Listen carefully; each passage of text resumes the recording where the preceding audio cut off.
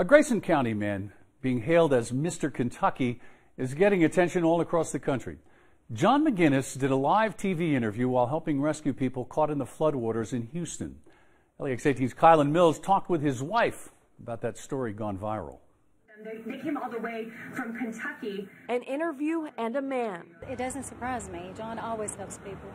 He's, he always has. Who's captured the hearts of people across the country. I lay down and I tried to sleep and I had a burden on my heart and I feel like God told me I need to come help. John McGinnis from Grayson County now being hailed as a hero.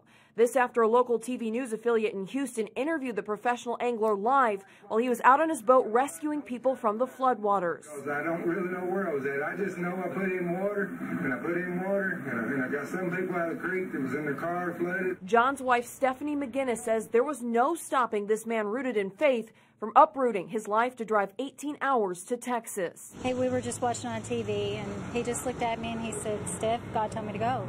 I said, if God tells you to go, you need to go. John even teamed up with a total stranger he met along the way, Johnny Engel, originally from Perry County. Stephanie says her stomach churns with each phone call. That it's terrible, that, you know, there's, there's people hurting, there's people trapped. Um, there's a really high current, which makes it dangerous for the rescuers. But she knows John is doing God's work and making Kentucky proud. Well, I haven't slept. I haven't slept since yesterday. But you do a lot of praying and you just have faith. Covering the news, Kylan Mills, LEX 18 News.